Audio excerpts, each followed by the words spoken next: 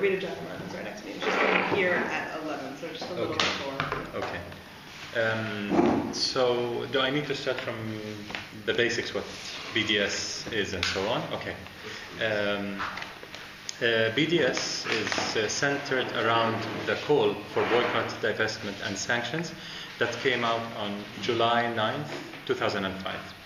Um, that was not the beginning of the Palestinian boycott movement, however.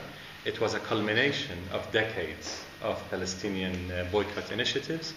Uh, for, for more than a century, Palestinians have used boycott uh, to counter settler colonialism and later Israeli occupation. Uh, so it wasn't something that um, was completely new, out of the blue. It was a culmination, as I said. So the main inspiration for the BDS movement in 2005 uh, was the Palestinian initiatives for boycott, um, especially in the first Intifada, which was between 1987 to 1993. In the first Intifada, the boycott was a main form of struggle adopted by Palestinian society uh, against the occupation. The famous Beit Sahur, I don't know if you've been to Beit Sahur, Bethlehem area. It's, it's a Christian town near Bethlehem. Uh, they had the most famous um, boycott of paying taxes to the military authorities no taxation without representation. They used that uh, slogan. and that went on for months, and the, their furniture were, were confiscated, refrigerators, cars, and I mean, the Israeli occupation authorities tried everything in the book to stop them. Uh, but that was a very famous uh, tax strike um, and, and the form of boycott. Also, boycott of Israeli goods, boycott of Israeli institutions was very popular then. so, in 2005, uh, Palestinian civil society felt that the world was failing us, basically. It was a year after the International Court of Justice at The Hague had decided that the wall, Israel's wall, and colonies built on occupied Palestinian territory were both illegal. But a year after the ICJ ruling on July 9th, the world had done nothing to stop Israel from construction of the wall, at the very least. So we felt if they cannot make Israel stop constructing the wall, we can never imagine to regain our basic rights under international law through the so-called international community, the states, the hegemonic powers in the world, and the UN controlled by the US government. So there's no hope. So we have to appeal to civil society. This is how the whole philosophy of BDS came about, and this is very inspired by the South African anti-apartheid movement. So the main inspiration is the Palestinian civil resistance, popular resistance that has gone on, had gone on for decades, and then the South African anti-apartheid movement, the main modern inspiration for our movement. And we're in touch continuously with South African uh, leaders who had led the anti-apartheid struggle. So their advice is very important to us. Their experiences uh, are very important to us, despite the differences. It's it's never copy paste in such struggles.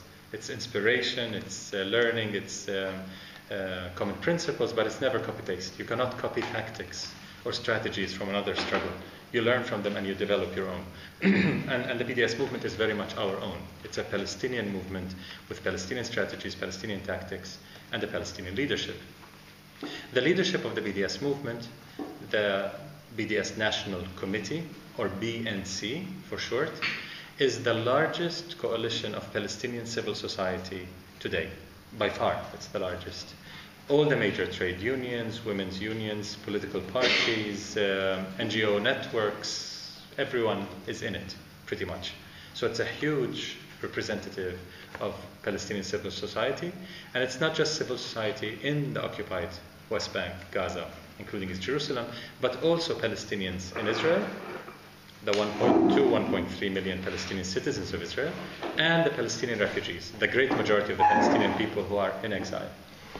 And the BDS call specifically addresses the three basic rights of those three communities, those three segments of the Palestinian people ending the 1967 occupation and colonization, the, settler, settlements, and so on, including the wall. Uh, and uh, that's number one.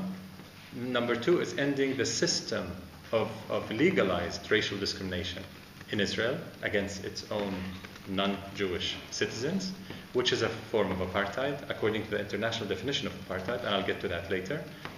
Third, uh, the right of return for refugees in accordance with UN Resolution 194. These three basic fundamental rights together um, constitute really the minimal requirements for Palestinians to exercise our right to self-determination. Without those three aspects, we will not, we will not have addressed the basic rights of the Palestinian people. Now, this may come as a surprise to many because, and I wouldn't blame you, because in the West, for many, many years, you got used to the definition of the Palestinians, the Palestinian people, being reduced to only those in the West Bank and Gaza.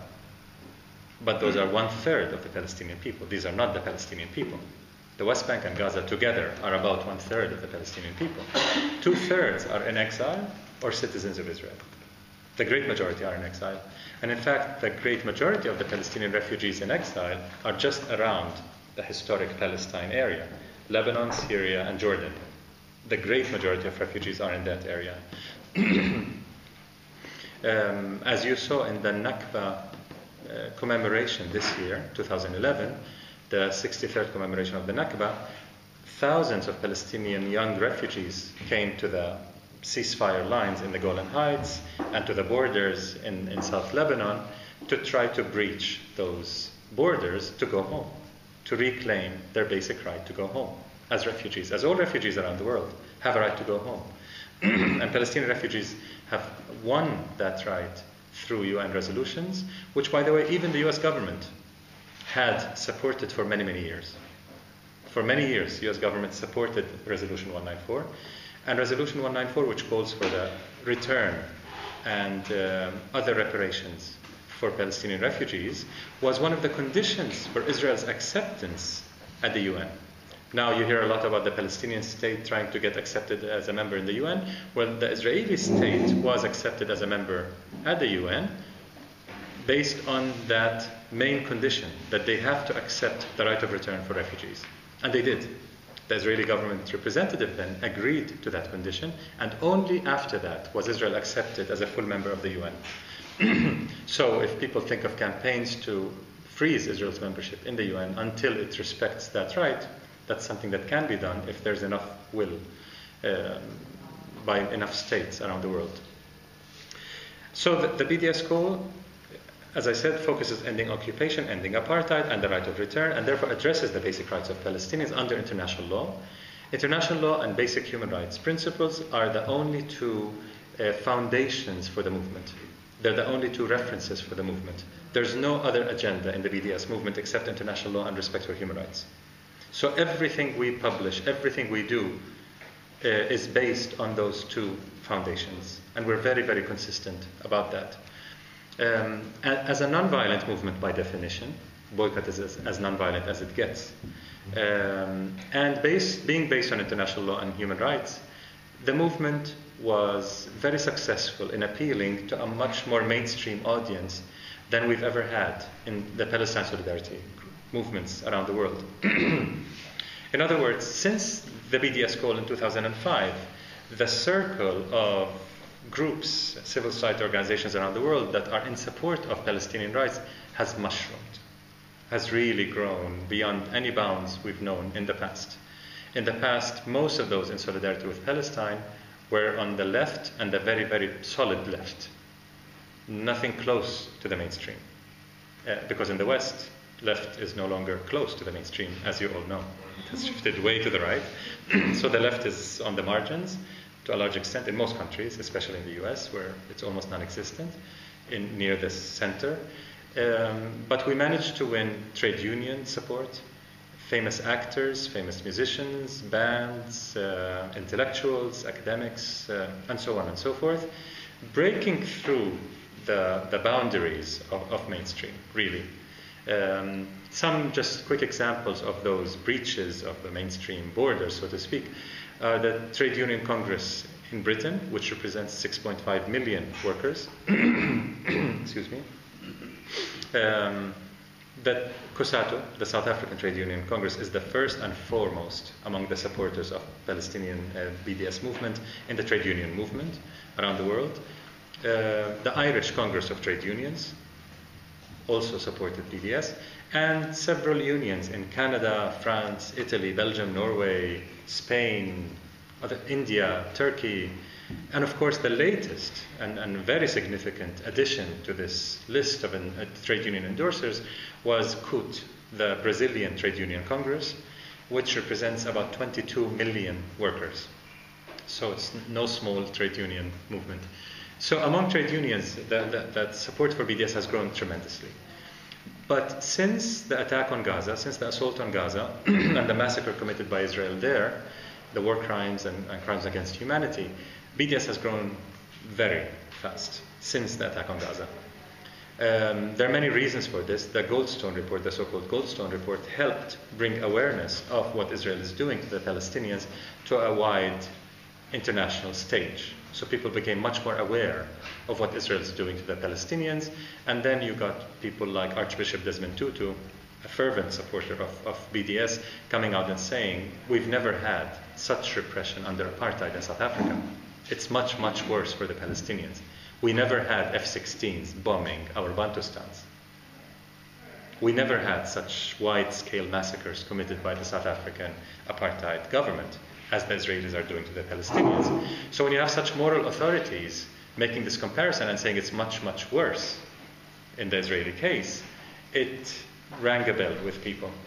People in the civil rights movement in the US started seeing comparisons. Alice Walker is among the most famous in doing so. When she came out in support of BDS, she compared with the Rosa Parks initiated boycott that Martin Luther King led, uh, the bus uh, boycott, and so on.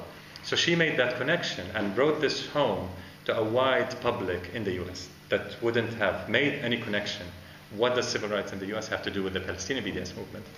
So Alice Walker was among the first to make this very solid connection, I think. so between South Africa, the anti-apartheid movement, and the US civil rights movement, the connections started to become much more popular, much more um, publicized and mainstream.